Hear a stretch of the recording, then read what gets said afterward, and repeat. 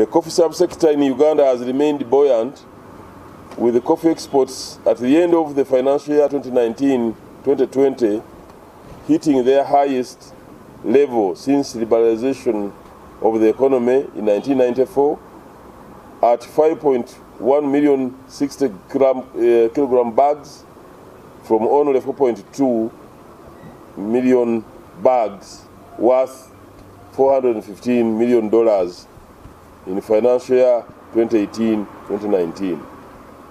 So this financial year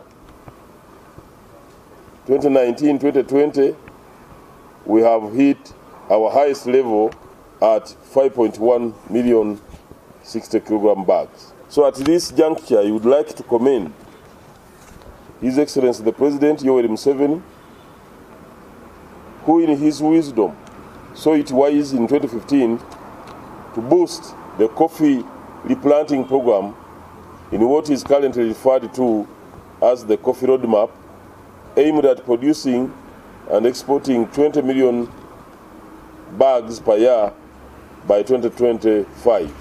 Whereas other commodities were affected uh, negatively, actually for Uganda we celebrated highest achievements in the history of UCDA. Since 1991, we exported the highest coffee during, the, uh, during this period.